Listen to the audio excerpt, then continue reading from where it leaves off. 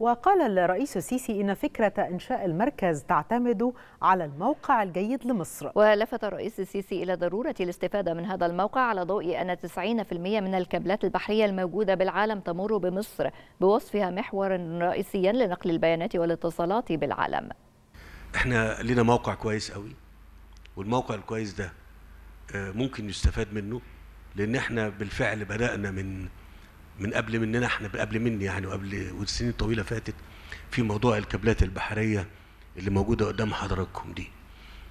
واللي بتعدي 90% من مش كده يا دكتور عمرو؟